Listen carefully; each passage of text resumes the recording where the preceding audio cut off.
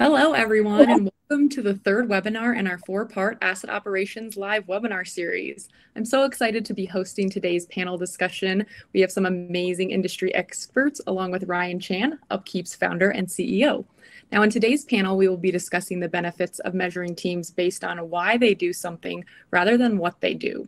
Our panelists will be answering questions related to continuous improvement as an abundant life cycle, which Ryan will explain in further detail.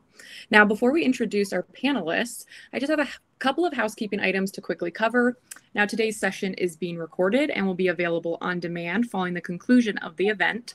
And time permitting, we will host a brief Q&A session at the end of the conversation. So please submit your questions in the panel to your right, and we'll try our best to get to as many as possible. On that note, I'm going to go ahead and hand it over to Ryan to kick off today's panel discussion. Ryan, take it away. All right. Thanks so much, Blair. Uh, real quick for everyone, uh, I, I want to really try to engage everyone. If you've been to a few of these webinars, you kind of know like my my mo here. But drop in the chat where you're watching from, what your role is, and what company you work for. Yeah. Uh, we're going to try to you know keep this as engaging as possible. So um, really appreciate everyone's um, you know participation and attendance. All right, welcome. Um, my name is Ryan. I'm your host. I'm also the CEO and founder of Upkeep. Uh, today we have a really special panel discussion. Um, a little bit of background before we jump in. All right, welcome Chris, Lisa, um, and also Corey. Um, a little bit of background for today. Back in 2021, Upkeep brought maintenance, reliability, and operations together in this one approach called asset operations. And as of just last month, we've completed our book on asset operations and why it's critical for the future of our industry. Um, I'm really excited to announce it's here. You can actually purchase our book uh, on the Amazon um, store you can also get it on Kindle, and also I believe we have our audio version coming out in the next few weeks too. So if you listen to books and not read books like I do, um, that's also a great option. Um, all right, so this book would not have been possible without all the amazing, amazing contributors from both the Upkeep team, the community, and also our subject matter experts you know, three of our subject matter experts that we have here today on this panel. So I'm really, really excited to have, you know, both Rob, Michael, um, and also, where did George go? Is George still here? I hope so. We got three amazing contributors here on this panel today. All right, before I introduce our panelists, we have some amazing, amazing guests here with us. We got Rachel, Gerardo, Jessica, Cristiano, Blair. Okay, oh, Blair's here. and also Matthew. Thank you again for joining live. Um, Blair just posted the link to purchase the book on Amazon. All right, I'm going to get into our, our talk here.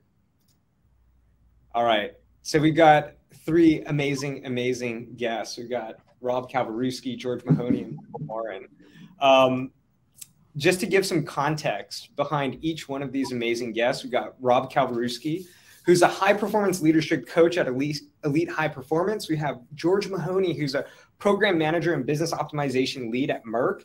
And last but not certainly last but not least, we have Michael Moran, who's the facilities and venue director at Jafco. So it's great to have each one of you here to celebrate the launch of our asset operations book and talk about your unique experience in this field. So, do you want to all go around and share a little bit, little uh, quick introduction behind yourself and you know how you got introduced to the the industry? And maybe we could start with Michael.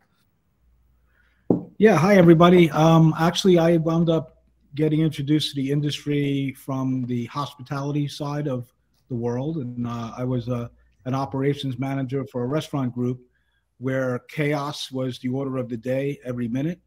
And when it came to facilities, operations, and management, the only thing that came up constantly was a question mark, which was what to do next. So very quickly, I, I came to love uh, this little app that someone had on their phone called Upkeep, because uh, sanity was on the way very quickly after I started to uh, work with it, and that was some years ago. And honestly, I've uh, I've enjoyed using it and still do. That's awesome. Thank you, Michael. Um, Rob? Yeah, hi everyone. Uh, Michael, I don't know what you're talking about with this whole chaos is is all the norm thing. um, no, uh, so I'm Rob. I spent probably 10 years in maintenance, started off in mining, did some consulting across heavy industry, and then ended up in oil and gas. And for about the last year, I've been working full time as a leadership coach because what I saw over those 10 years was really a huge gap in the leadership styles and the ability for us to drive change and sustain the reliability initiatives and get the value that we're looking for. So that's where I've pivoted this last year and really since then I've been I've coached over 80 leaders and we're really rolling out some really game-changing stuff. So definitely it's been fun. All right. Thank you, Rob. And George. So uh I've been in maintenance since I was 10 years old, working on my father's heating and air conditioning truck. And uh, I didn't want to do it. I wanted to go play with my friends. So I hated waste. I wanted to get the jobs done as quickly as possible. And there's a lot of waste in Staten Island. There's a lot of traffic. There's uh, the people at the supply shop that don't show up on time. There's customers that don't show up on time. My dad had all of his customers on a Rolodex with pen and paper, and he actually did do some like uh, some history on what we did people's houses the last time. So that's where, where I got the feel for it, the passion for it, and I've been involved in maintenance and or continuous improvement ever since. So it was a long journey for me, but I did it from the age of 10 to the age of 37, sitting on my dad's heating and air conditioning truck. So I'm glad to be here today to talk more about it. All right. And it's great to have the three of you guys join us today in today's panel discussion. Um, George, thank you for being an upkeep customer. Rob, it's been am- amazing watching your journey too. And George, yeah, starting from 10 years old, haven't left the industry. Love it. All right. Um, before we jump into the panel qu- questions, I want to set the tone for today's discussion and quickly go over what asset operations really means. So our vision, my vision behind asset operations is to unite operations reliability. During uh, our, our vision here is unite maintenance operations reliability into one single team to help all, this one team, asset operations, make important biz, business decisions with the full visibility of the entire life cycle of an of uh, of the asset across you know the installation, purchase, commission to ongoing maintenance, and ultimately the decommissioning of the asset. You know the vision here: unite these three teams and make decisions across the entire life cycle of the asset. And um, really, the asset operations vision is where these three teams work together, share a single data repository for the foundation of communication and collaboration, and view the entire asset lifecycle and shift their business decisions focused on what they do and instead shift it to why teams do what they do. So again, that's um, a big pillar of today's discussion and what we'll be talking about, shifting this perspective from measuring teams based off of what they're doing, how many hours they work, to what's the outcome of why they do certain actions and why we do certain PMs versus, you know, again, hours work, PMs completed, work orders, um, yeah, we hit the check mark off of. All right. So today, this is the third part in our four part webinar series where we're going to be talking about you know the the eight pillars of asset operations we're going to be hyper focusing on on um two of them. Oh do we need to highlight the slides? Is it pinned? I think it's pinned. Let's see. Did that help? Hopefully that one helped. All right. Um, the goal here is to basically talk about the two key um, pillars one, continuous improvement is not just a point in time, but instead it's an abundant life cycle. And the second one is measure teams based off of why they do something, not just based off of what they're doing. All right, let me um, end the screen share and jump into our panel discussion. So it's less of me talking and more of you know, the the three of you guys talking. All right, let me let me just quickly uh, introduce the first question. So we've got these two pillars in mind, and so the first question that I want to ask and direct is actually towards Rob. In the book, we talk about continuous improvement as this abundant life cycle. So I want to ask you, Rob. You know, you, you'd worked in main, in maintenance reliability, and now you're kind of working on the coaching side. You know, what does continuous improvement mean to you? And how did these initiatives, how, how did continuous improvement work at the, your previous organization you know, before you transitioned into into leadership coaching? Absolutely. For me, so continuous improvement, there's a lot of the different modalities, you know, PDCA, Kaizen, Six Sigma, whatever it is. But basically, what we're looking for is when we do a task, we want to get feedback. We want to use the feedback to improve it. Right? That's basically the nuts and bolts. And this takes a growth mindset. And this is really where I coach a lot these days is how we think about ourselves, how we think about a task, and how we think about feedback. Often we think feedback is negative because it means we didn't do something perfectly right? And the other side of it is often a lot of folks get feedback only, you know, half every six months or once a year, right? Because it's part of their performance review. It should be all the time. Right. And and I love this example, but someone said, I was listening to a pod the other day and someone said, like, do you how often do you think Michael Jordan got feedback? And it's like, do you think it was once every six months? And that's exactly the same thing here in maintenance, right? Is like if we're going out and someone sees something wrong with the PM, we should never wait six months to get it done.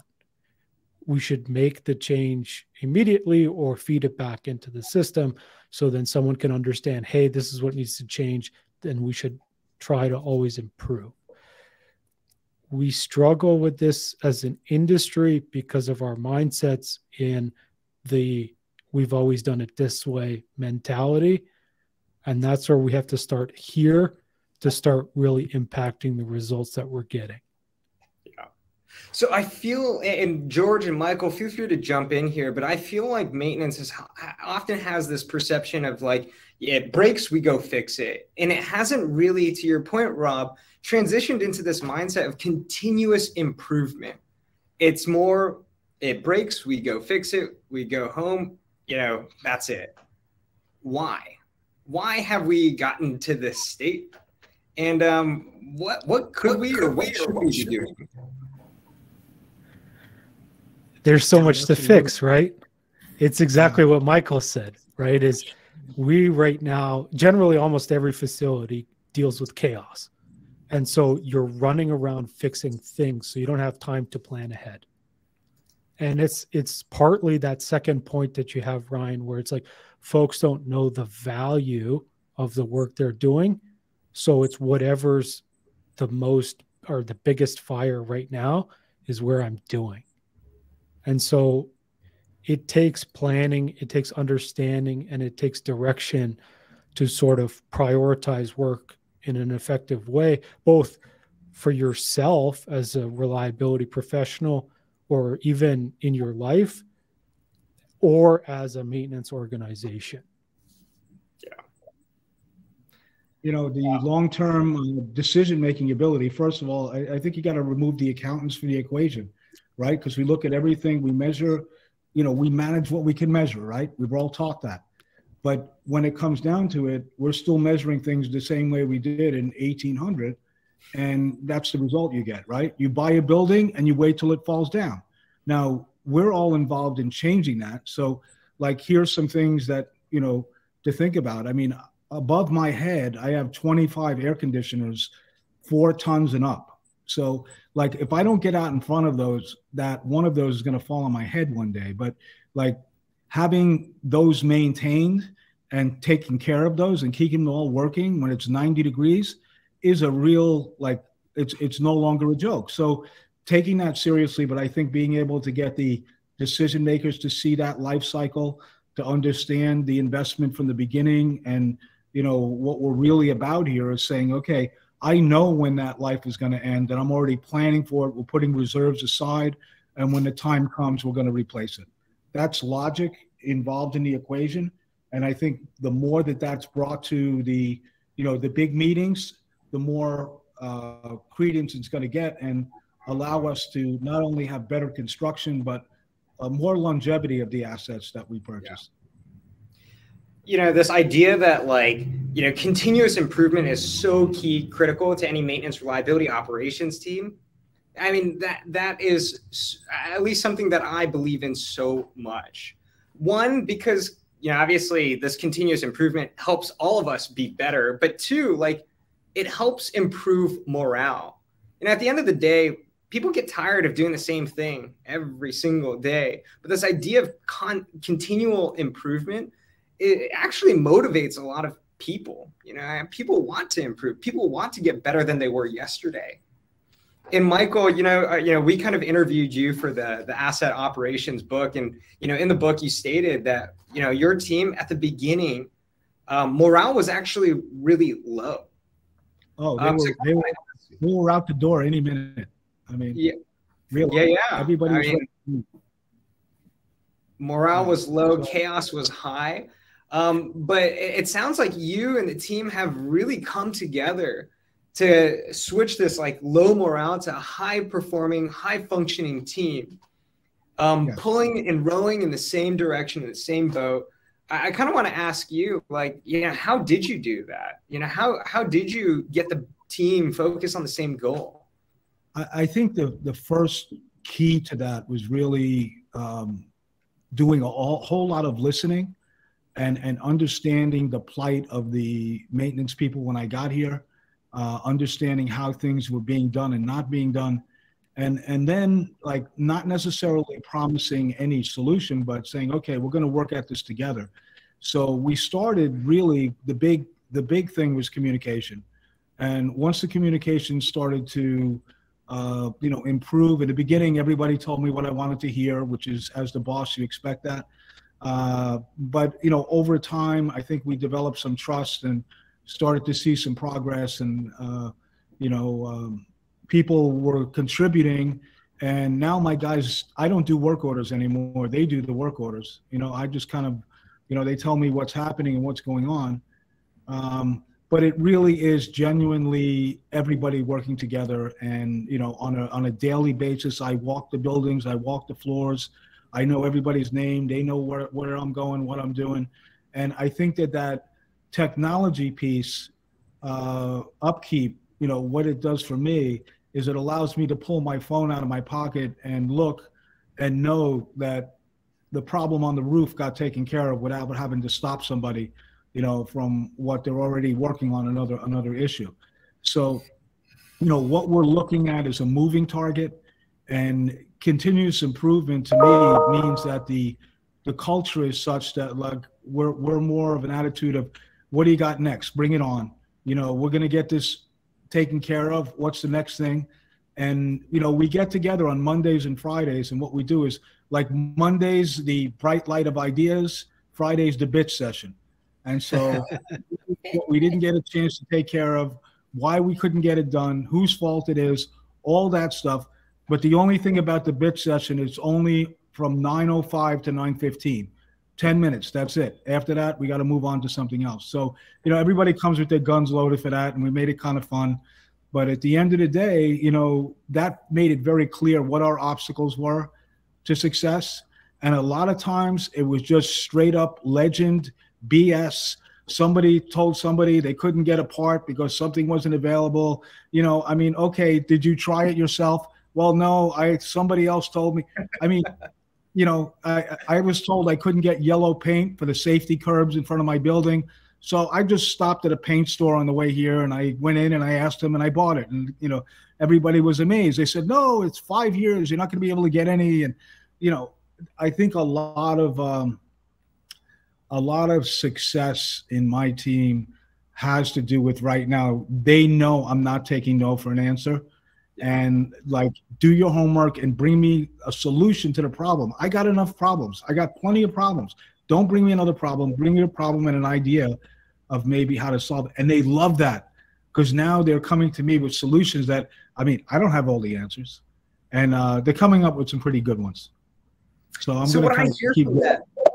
What I hear from that is like kind of two things. One is like you just made you enabled the team to be okay with you know talking about all the problems on, on the field. And then two is like you empowered them to be able to like say okay cool we see problems. Now go find a solution. I think that's that's transformation i feel like many businesses especially as we can we talk about this idea of continuous improvement that's where they struggle is the right. culture mindset of being okay with you know throwing out feedback the good the bad the ugly and also the great. Right. And if we talk about continual improvement like that feedback piece is the number one most important thing. Absolutely. And it's also good to do it on friday because then you could run right after. I love that. Um, you know, George, yeah, I know that you have a ton of experience, like, you know, growing, hiring, recruiting teams, high performance, high functioning teams. You know, I want to hear from your experience. You know, ha- have you run into struggles, challenges? Um, what have you done to motivate and retain you know, the, these teams that that are high performing, that are open to feedback, that have this mindset of continual improvement? at least for me, this is what's worked the best, and this is goes down to the individual level. Uh, is that you want to give an employee three things. The first one's autonomy, the second one's mastery, and the third one is purpose. So I didn't come up with this on my own. It's just I researched it. And autonomy doesn't mean just hey, uh, maintenance person, go over there and do whatever you want, but it's giving them the autonomy to lead their own charge. Kind of like what Michael was saying is, do you have a suggestion? Bring it up. Do you have an idea? Experiment with it. It's okay to fail, but we're not going to look over your shoulder and say, this is exactly what you need to do at every step of the way. The second one was mastery. So how do I have an opportunity in this company to master my craft or maybe go beyond my craft and master something else? Or do you just want me picking up boxes, moving them here and there, and now I feel like I have no shot at getting better at what I'm doing? And the third thing is purpose, is what you're doing bigger than yourself. And, and I would relate that back to the why. You know, why why am I even here? What am I doing? You know, we always talk about the what, but what is that helping you with with respect to the why? What's the purpose that's bigger than you? When you're turning that wrench, is it more important than you know just your your arm moving righty tighty lefty loosey, or is there some sort of operation that's going to happen at the end of that where everybody's winning because you fixed that pump or that leak? Yeah, that's awesome. Um, so you know, I, I, kind of mentioned in the beginning, if you have questions, drop it in the chat. We're going to try to, you know, answer some of the questions live. Michael, you got a question from uh, Jay Kreiner here. You know, he was wondering how long did that transformation take, going from low morale to this high performance team where you're all rowing in the same direction, and then ultimately, when did you see that rudder change? Um, on the clock, I want to say three months, um, and where it really started to change was when um, instead of me um, bringing work orders to the attention of my team, uh, them starting to get comfortable with it and do it themselves. And that's when I realized, hey, if I'm not careful, they'll be doing my job pretty soon, which is what my goal is. Uh, but you know what? Uh, I need to go to bat for them every single day. And if there's an issue, they know I'm going to fight the fight if it needs to be, uh, whether it's they need equipment or uh, tools or you know um, maybe something we can't do in house. We need to get somebody from the outside, you know, whatever it might be. But I know that I need to follow up 100% from the minute they bring somebody to my attention. Otherwise, I'm going to lose that trust. And so, like now, I have one of my team members who was, you know, just nobody has respect for maintenance people, right? You're the maintenance guy. You know, the guy with the, the name on your shirt, it's not even your right name. I mean, I grew up with, uh, you know, in a construction family, and my dad spent 60 years working in construction in New York City. And I know how he came home at night and what kind of days he must have had along the way. So I completely avoid that uh, and do everything I can uh, to get my guys what they need uh, and also right to the point. They need to stand and deliver, and I have their back if they do that. And so, you know, that's uh, uh, that's not a lot to do with maintenance, but it's a lot to do with you know that continuous improvement thing. No one gets up in the morning and says, "Hey, I, I want to do a worse job than I did yesterday." But I do know this: if someone gets done at three o'clock in the afternoon, and I give them a job to do at two o'clock and tell them they, they can go home when they're done, they get that job done. Now, if I give them the same job at eight o'clock in the morning, they'll still get it done at three o'clock in the afternoon. So I don't know, somewhere in there, I'm trying to bottle that energy, and maybe between all of us, we can figure that out. But that enthusiasm is fantastic. That last hour, wow, that's like, you know, that's good stuff. Yeah, Absolutely. It sounds like you're also getting a lot of questions about this idea of your bitch session. I think a lot of people really resonate with that because one, it opens the conversation, the door for feedback. And then two, it's kind of like this outlet for all the things wrong within the organization. Be okay with kind of like pointing that out. Um, yeah. How do you scale the bitch session? Chris is asking for you know a team that has you know let's call it like 40 people uh, on the team. How do you make sure that? How, you how do you with, yeah, you got to go with the write-in system then for the uh, you know the bigger groups because you know there's only one of you. You'll never make it. Um, but you know, I, I think you really need to you know digitally you can certainly do that and and you know open up that pathway for people to uh, give you the items that they want to talk about in advance. But you know, obviously, if it's 40 people, 50 people in a team, I'm sure you're going to find duplication of a lot of the issues. So that that will help you. Yeah, write it down. All right, all right. Um, Anonymously. Anonymous. oh, that's actually interesting. Anonymously. Okay. It has to be. It has to be anonymous. Yeah. Yeah. Yeah. Yeah. That way, people are more open to, uh, you know, putting their feedback out there. Um, all right. Vocabulary too. yeah, to get it to make sure that the uh, HR team approves that. To Mohammed's point. Um, all right, so Rob, uh, you know, you obviously deal with a lot of you know high impact leadership. Um, you know, as it relates to the the sixth pillar of our book, focus on why, not the what.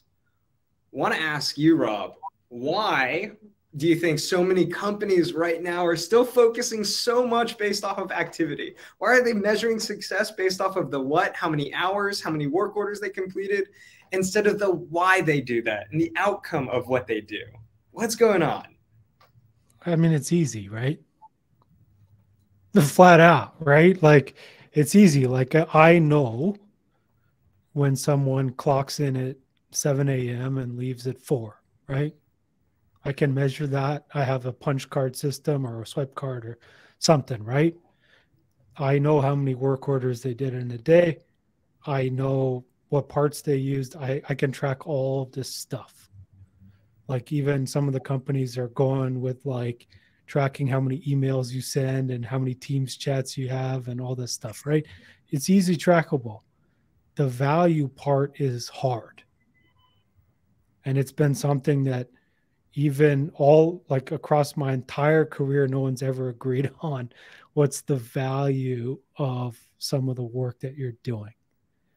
And that part is is hard, but it also takes like leadership that thinks, right? And that's where Michael is is gone, right? It's like you have to think about what is the long-term strategy where do I want to go with my facility? What's the life cycle of it? Like you have to ask yourself these questions in advance so then you can make a better decision. And that's hard because often it's like what we're looking at is what's the next quarter result? How can I cut costs today because I have to make it better, you know, my earnings per share better, you know, like this is what we're looking at. And it's hard to get from next quarter to 50 years from now which is the true decision that you want to make. Yeah. It's also something that people naturally struggle with. So yeah. like we as people we will avoid pain in the short term rather than setting ourselves up for gain in the long term. So it's a human problem more than just a hey leaders are bad like it's it's not our fault. It's it's how our brain works. Um, yeah, but I mean, the other question that that was asked, right, is like, how do we start engaging folks? And absolutely, George and Michael both had incredible results for this. Um, there's a reason. I mean, obviously, for um, somebody asked, you know, what are some Jessica asked so many resources like Simon Sinek has start with why. There was a recent um, research out of Adam Grant who talked about purpose and they saw an incredible amount it was like 172% higher profitability for companies that actually have purpose for people's roles and this is just a this shift. It's yeah. not even you don't even have to change the job. You just have to change how people think about the job. And Ryan, upkeep is you have done that really well with upkeep in the way that you're changing the world through maintenance. You're not just a CMMS company, right? And that switch accesses intrinsic motivation which is the real stuff that Michael's talking about, where people flip the switch. Yeah.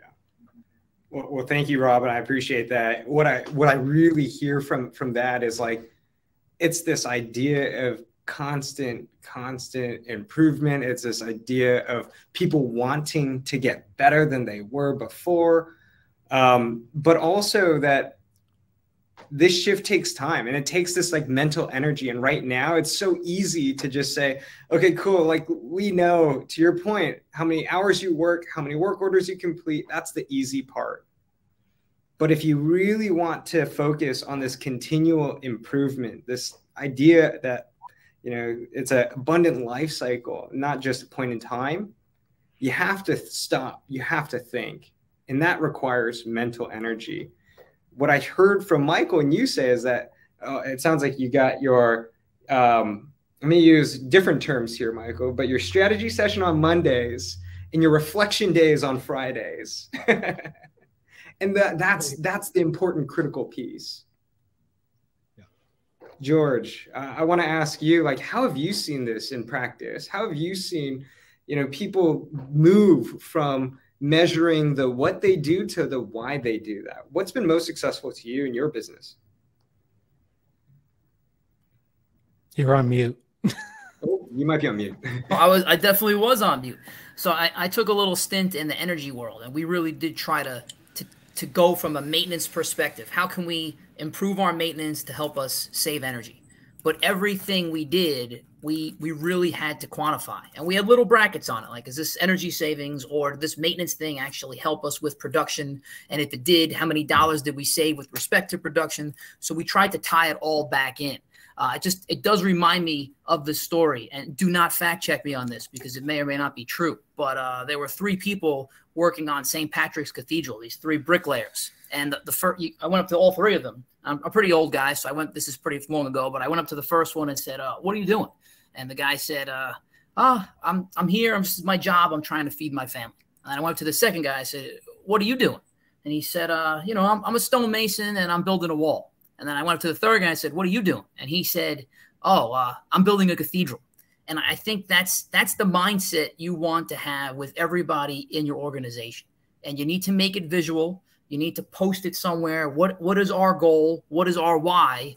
And what are we doing to get there? And if you're not doing that thing, well, then stop doing it. But you have to feel that whatever you're doing is bigger than you just scrambling around trying to complete a work order and trying to get on with your day so that you're not completely and totally frustrated. Yeah. But yeah. for us, we made everything visual and you get what you emphasize. So don't emphasize a lot, emphasize what you want and only emphasize that thing. Yeah. Yeah. And I love and the I idea of making it visual too. I think that's so important. Posting it up in your break room or on the shop floor, that's so critical. Um, Michael, any uh, uh, any other ideas that you've seen really lead to success um, for shifting the the you know focus of teams from what they're doing to why they do it? Yeah, I think that um, you know part of the evolution was to create a a hierarchy within the facilities team. uh, where there wasn't one before. So uh, people have something to look forward to: more money, promotion, uh, new title, new responsibility to go along with it.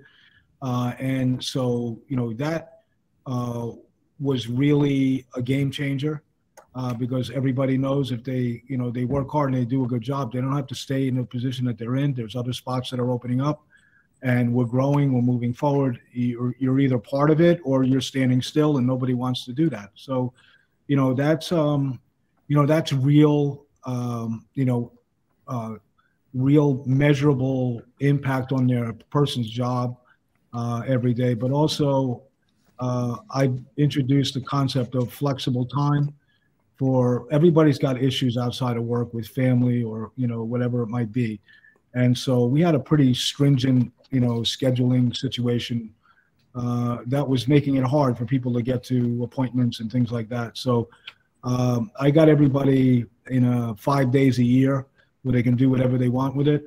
And uh, if they have a doctor's appointment, no questions asked, and, and just, you know, they can do what they have to do, take care of things outside, because that's important to us.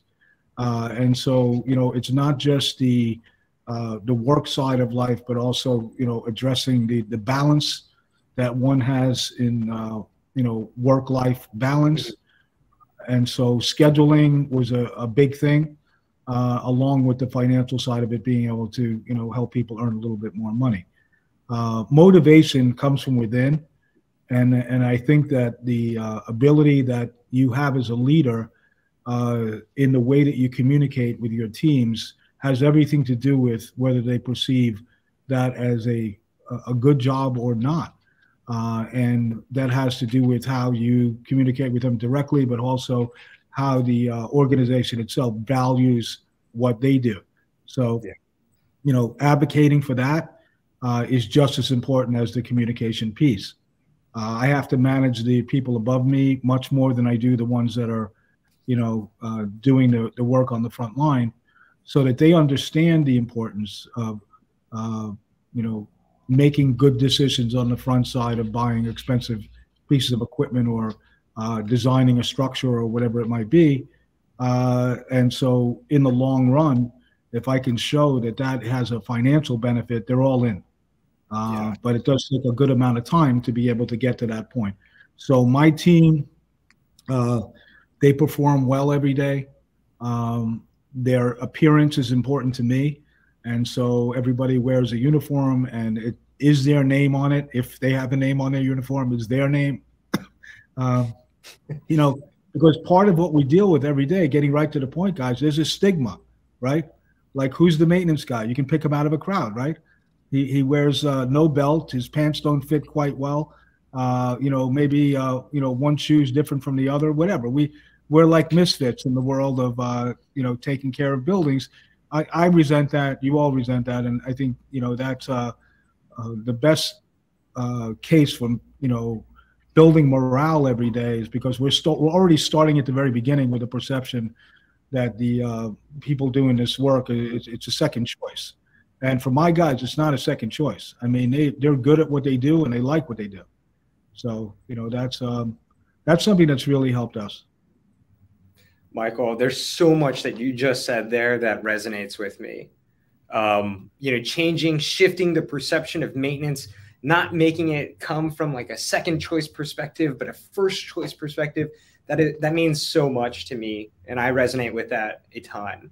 I love the idea of creating career pathing within, you know, your maintenance department because it goes back to this point of continuous improvement is an abundant life cycle, not just a point in time.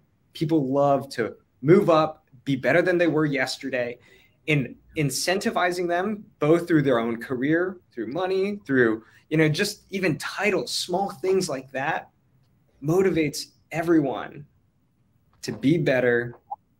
And um, again, shift the perspective of what maintenance was to this, like, you know, first choice. I love that, Michael. Thank you.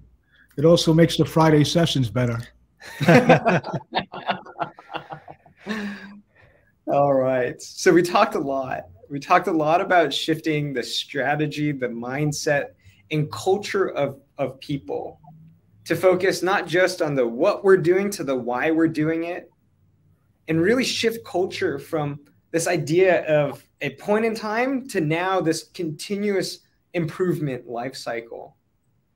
I want to go around the table here and just ask each one of you, Michael, Rob, and George, you know, if you have one nugget for all of the listeners in today's, you know, webinar, they can take away to really enact positive cultural changes on their organization, their department, what would that one nugget be um, to make sure that you know this positive cultural shift sticks?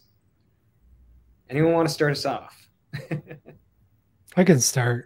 Um, find, for me, I hope. Oh, go ahead. Rob, go ahead, Michael.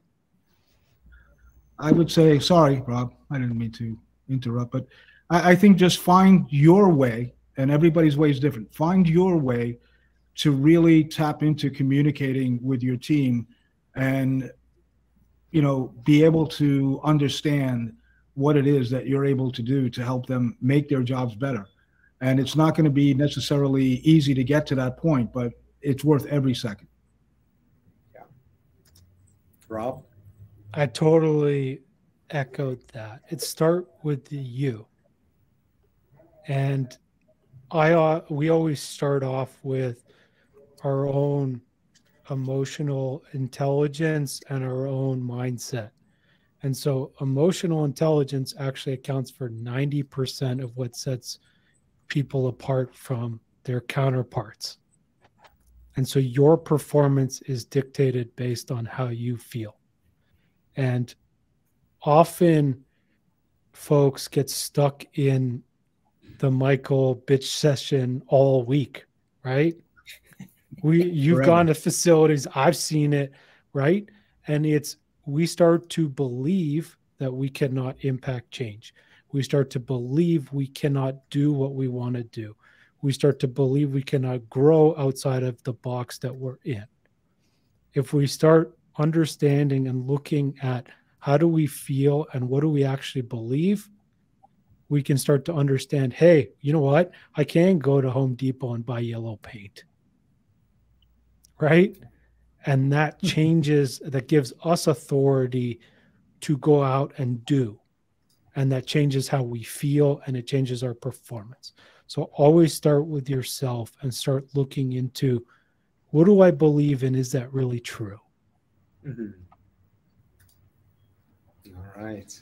George.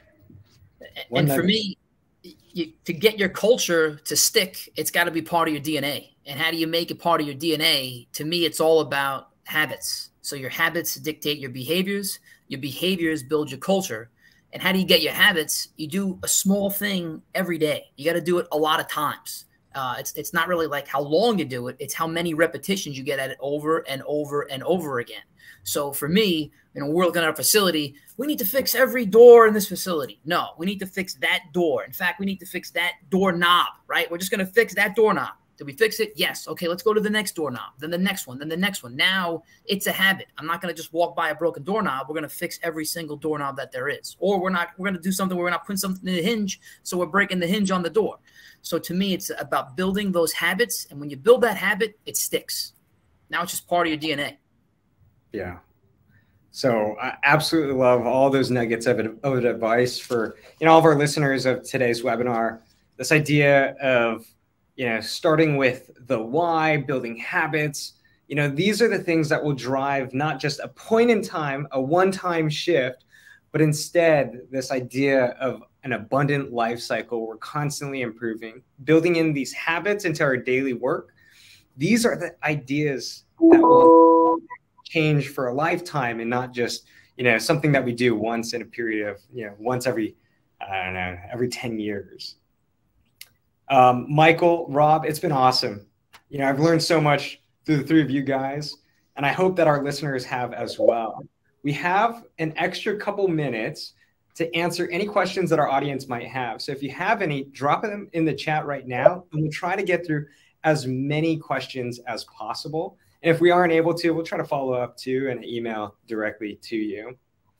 Um, you know, as people are kind of like typing in their questions right now, I just again want to say thank you to Michael and Rob and George for joining us, um, helping support our book, this vision of asset operations, and you know all they do for our community.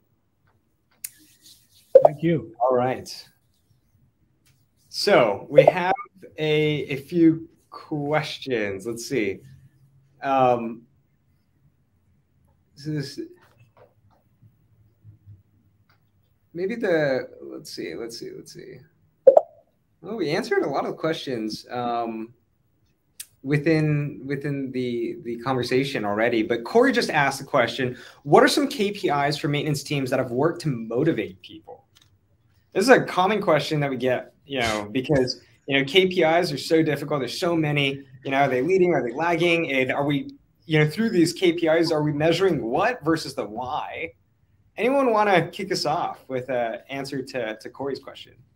Don't use KPIs to motivate people. we're, we're, we're done. no, no, but I'm serious. So, so this is, this is what we everyone on this panel has talked about, right? It's, we're looking for intrinsic motivation, right? Which is the purpose, the meaning, the why. We're not looking for, hey, you know, the Glengarry, Glen Ross, first prize is the Cadillac, second prize is steak knives, third prize is you're fired, right? Because that is only short term. That literally will work for a few months and then people will just, it'll just become normal, right? And so what we're looking for is this why do people want to do the job well? And when I we always coach folks on having a career conversation with their people. So the person, where did they come from to get to here and where do they want to go from here to basically the end of their career or the end of their life? And then what skills can I develop for them to get them to where they want to go? And that could be literally, I had a conversation with someone who works as an IT professional today, and they want to open their own coffee shop. And it's like, okay, so what skills do you need to get to the coffee shop that I can help you with from now to then? Yeah. And that will help folks be motivated, not, yeah. hey, you know, fix 10 widgets today because that'll make you feel better. I mean, what I hear from that, Rob, is like, yeah, it's it's not so much that KPIs are terrible. It's about like making sure that the goals or what we're tracking ladders up to the why. And everyone has a different why. Every business has a different why. Why do we do certain things? Are we building a cathedral? You know, is that the why? Um, they didn't. Then, they didn't use KPIs when they built a cathedral. I could tell you that. I would try pizza any day over that. Uh, food, food is a very good motivator. I have found. Yeah, honestly. yeah. Just as a surprise, you know, all of a sudden food shows up. That's much more fun than trying to figure out KPIs. And I know I've done my share of that. Small little things. Yes. Uh, Cristiano uh, it, it asked the question How can companies create or even help um, a professional with a consistent career plan? Maybe that, that's a good question for you, Michael. Well, I mean, it depends on what their plan is, but being flexible with, with scheduling, allowing someone to, you know, maybe they need to study for a few hours, uh, you know, before their shift or in the middle of their shift, being able to make a space for that, or if they need to take a certification exam or a test. So now you're going to put on your mentoring hat and and say, okay, like you know, Robert rightly mentioned, uh, this isn't the person's last stop on the road, but they have a direction and they're sharing that with you. Then, you know, how can I help make that happen? You know, maybe this is uh, you know, another person that's gonna help me to get where I need to go, but maybe not forever. So I'm happy to do that.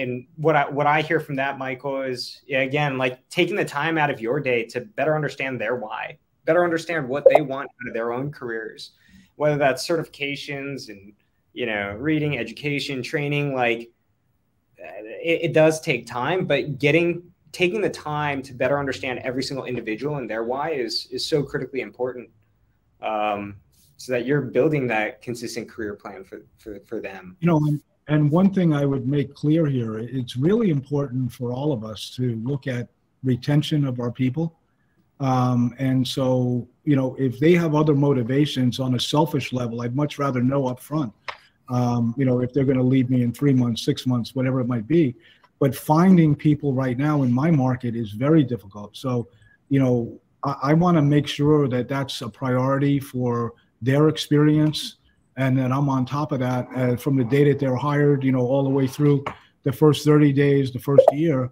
you know, that that we're in sync.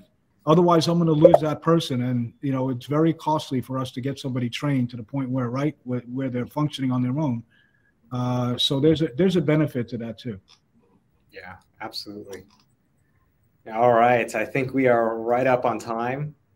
Again, want to say thank you so, so much for our incredible pan- panelists for participating in today's discussion. And to all of our listeners that attended live and who are also watching our, our replay too. I'm super pumped to hear everyone's feedback um, on, the book and today's webinar. Blair just posted the, the link on Amazon if you want to get your own copy of our asset operations book. I'd be really, really thrilled to hear everyone's feedback. You know, shoot me a note, shoot me a an email at ryan at upkeep.com. Um, lastly, before we wrap here, we actually have our fourth and last part of our webinar series that'll be in the next couple weeks. Blair will also post or I think she actually already did, posted the link on how to register for the fourth and last um, series of our webinar series. Um, thank you, thank you, thank you again, Michael, Rob, George, every single one of the you know live attendees for participating to, in today's webinar. I really appreciate it. I've learned a ton. Um, thank you, everyone. Have a great rest of your day. Thank, thank you. you thank you. Thank you.